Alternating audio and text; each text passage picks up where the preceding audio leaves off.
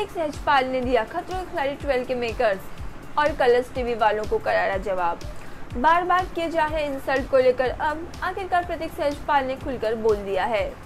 क्या है पूरी डिटेल जानेंगे इस वीडियो में, लेकिन इससे पहले अगर आपने हमारे YouTube चैनल गपशप को सब्सक्राइब नहीं किया तो फटाफट से चैनल को सब्सक्राइब कर ले। दरअसल, खतरों खिलाड़ी ट्वेल्व के इस सीज़न में जिस तरह से शो के मेकर्स और रोहित शेट्टी बार बार प्रतीक सहजपाल को प्रेजेंट कर रहे हैं। इस बात को लेकर ना सिर्फ़ प्रतीक सहजपाल खफा है, बल्कि प्रतीक सहजपाल के फैंस भी अपसेट हैं। और अब पिछले कुछ दिनों से कलर्स टीवी खतरों खिलाड़ी ट्वेल्व के कंटेस्टेंट का प्रोमो शेयर कर रहा है। और इसी दौरान कलर्स टीवी वालों ने प्रतीक सहजपाल को ट्रोल करते हुए क्लिप शेयर किया। इस बात को लेकर प्रतीक सहजपाल के फैंस भी काफ़ी गुस्साए हैं। इन्हीं सबको लेकर प्रतीक सहजपाल ने भी अपने सोशल मीडिया पे एक पोस्ट शेयर करते हुए कलर्स वालों को जवाब दिया है।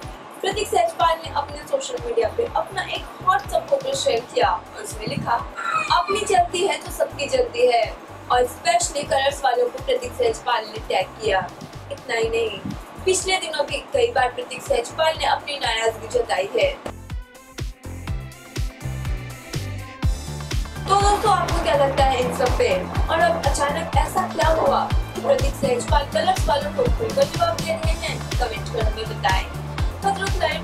अपडेट के लिए सब्सक्राइब करें हमारा चैनल कब